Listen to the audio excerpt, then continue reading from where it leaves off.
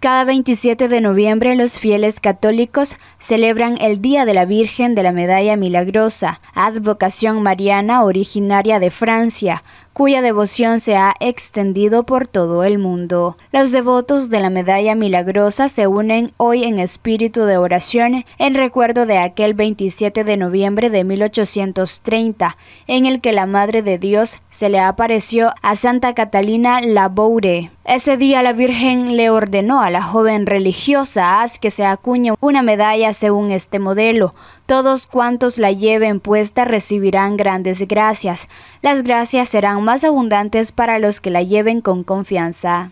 Catalina fue una religiosa francesa perteneciente a las hijas de la caridad de San Vicente de Paul. Era una mujer de oración penetrante, poseedora de un alma mística. Según la descripción de la santa, María se le apareció de la siguiente manera. Estaba vestida con una túnica blanca y un velo del mismo color que la cubría desde la cabeza hasta los pies.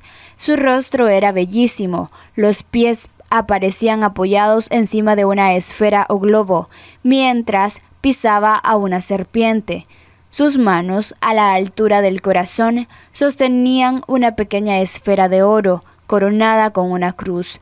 Los dedos de las manos estaban adornados con anillos con piedras preciosas, desde las que salían destellos de luz. En un principio los devotos de la medalla la llamaron Medalla de la Inmaculada Concepción, pero con la difusión de la devoción fortalecida e impulsada por las numerosísimas gracias y milagros, los fieles empezaron a llamarla la medalla milagrosa, tal y como se hace en nuestros días. Para Noticias 12, Luisa Centeno.